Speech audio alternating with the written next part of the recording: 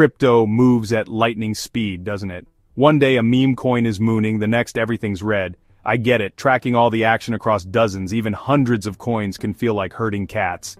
That's where crypto indexes come in.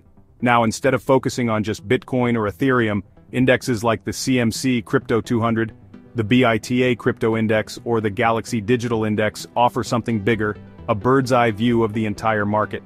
These indexes are basically baskets of the largest and most liquid cryptocurrencies, updating in real time to show you how the broader market is really moving.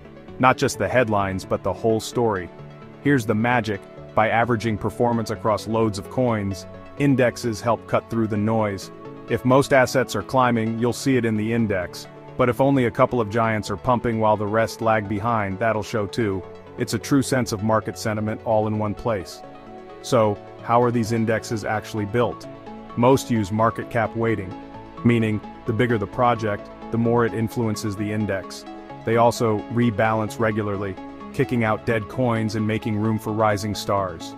Why does this matter? Well, the way an index is constructed affects how you should interpret its moves, or compare it to others. An index that only focuses on the top 10 coins might look very different to one that tracks 200. But here's where it gets really useful. First, indexes act as benchmarks. You can compare your own portfolio's performance against them, see if you're actually beating the market, or just riding the wave. They can also reveal which sectors are hot. Maybe DeFi tokens are crushing it, or gaming coins are lagging. That's insight you can act on. Indexes also help spot when the market looks overheated or deeply undervalued. By comparing index moves to on-chain activity or broader economic sentiment, you can find moments of opportunity or warning. And when you place a crypto index next to something like the S&P 500 or gold, you get a real sense of how digital assets stack up against the traditional world. So, whether you're running your own portfolio, trading the swings, or just trying to keep your sanity in this wild space, crypto indexes bring structure to the chaos.